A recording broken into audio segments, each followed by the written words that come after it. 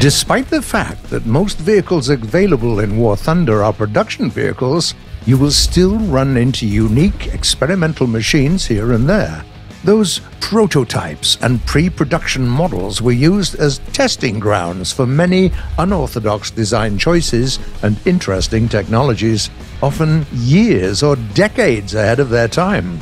Today, we're going to speak about the most striking and curious experimental designs that you can find in the game. Let's start with heavy tanks. There were a lot of truly revolutionary designs in this class of vehicles, after all. For instance, the French AMX 50 was equipped with a drum autoloader, which was a very rare feature in the 1950s. Or take a look at the Tiger prototype produced by Porsche. Thanks to its bleeding edge hybrid gasoline electric transmission, it could go as fast in reverse as it could in forward gear. Then we have the IS 7, a rare Soviet event vehicle developed in the late 1940s, a true culmination of years of heavy tank development by the USSR. It got a 130mm gun fitted with an auto loader. A 1,000 horsepower engine making this huge vehicle, weighing almost 70 tons, reach 60 kph, and an armor arrangement making it almost invincible in battle. The design of the IS 7 was so advanced for its time that it can actually fight proper MBTs. The Object 279 is another curious high tech oddity. A Soviet gift tank built to withstand the shockwave of a nuclear explosion. It can easily be recognized by its unique four track propulsion system and its unorthodox armor design, allowing it to shrug off heat and APF SDS rounds. Uh, sometimes. We simply cannot move on without mentioning the American T 32, a highly versatile and well armored heavy tank using a lot of parts of the M26 Pershing, and capable of taking out early MBTs as well.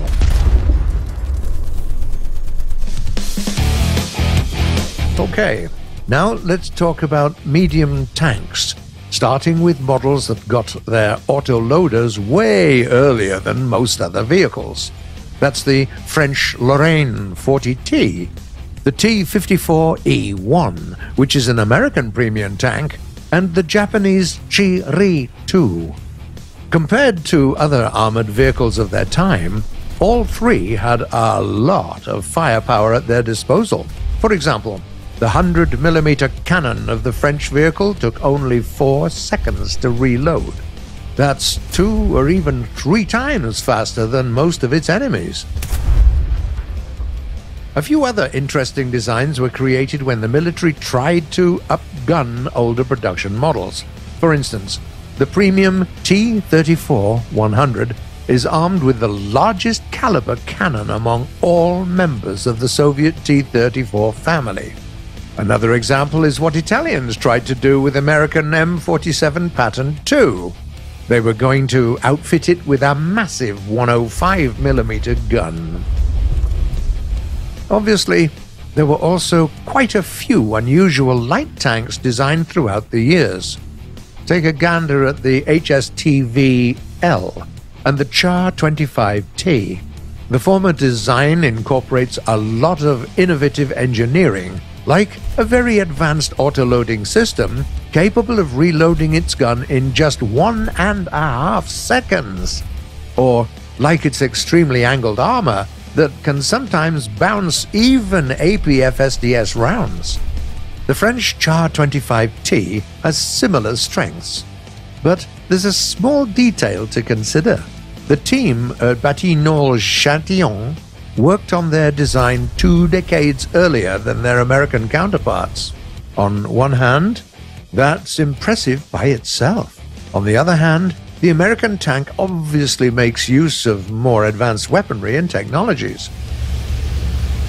If you're interested in pre war vehicles, take a note of the Soviet T 126, an initial prototype of the T 50 light tank, coming with unexpectedly thick armor. If you're more into wheeled vehicles, then there is the American T 18 Boarhound, a unique 20 ton armored car coming with really sturdy armor, at least by its class standards, and quite a lot of firepower.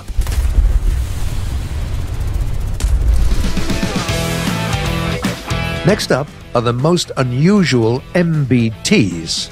The MBT 70 was a tank designed as a part of an American West German joint project, and it's one of the most forward looking vehicles of its class.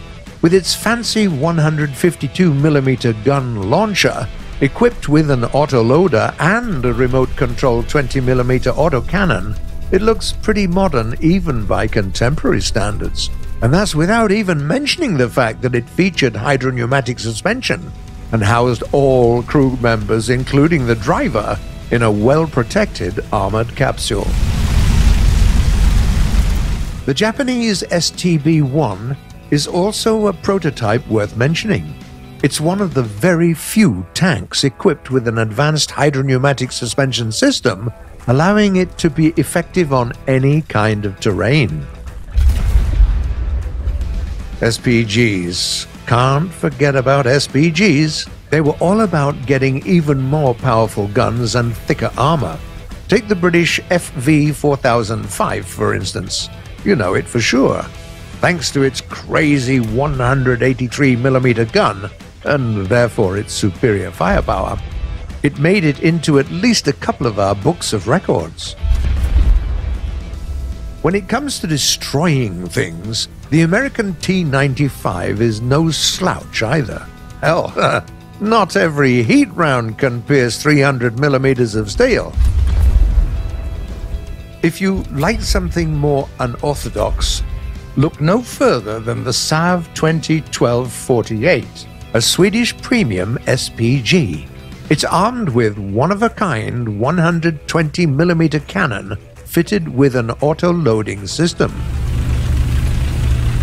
When it comes to SPAA vehicles, we have to mention the German Kugelblitz, the French AMX 13 DCA 40, and the ZSU 37, a Soviet premium self propelled anti aircraft gun. All three of these are pretty well armed and capable of engaging both air and ground targets.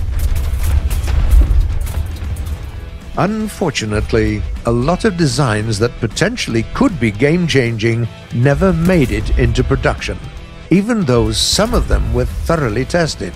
The amazing MBT 70 turned out to be too damned expensive to make, and the T 34, armed with a 100mm gun, was immediately rendered obsolete by the arrival of a much more advanced T 54. In War Thunder, though, all these prototypes get a chance to fight against their production brethren. So all that hard work was not in vain. Is there an experimental design that you particularly like? Please tell us in the comments below.